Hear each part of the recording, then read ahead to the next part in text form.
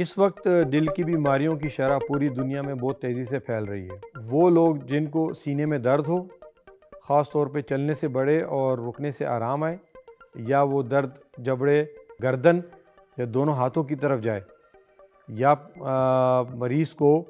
आ, दिल कच्चा हो उल्टी हो साथ में चक्कर आए या सांस फूले और साथ में पसीना आए तो इन अलामत के ज़ाहिर होने पे मेरी उन तमाम लोगों से गुजारिश है कि वो फ़ौर डॉक्टर ज़ियाउद्दीन हॉस्पिटल आकर इंटरनेशनल कार्डियोलॉजिस्ट से कंसल्ट करें, ताकि वक्त पर तशखीस से वो एक बड़ी, इस बीमारी की वजह से जो बड़ी पेचीदगियाँ हो सकती हैं, उनसे बच सकें।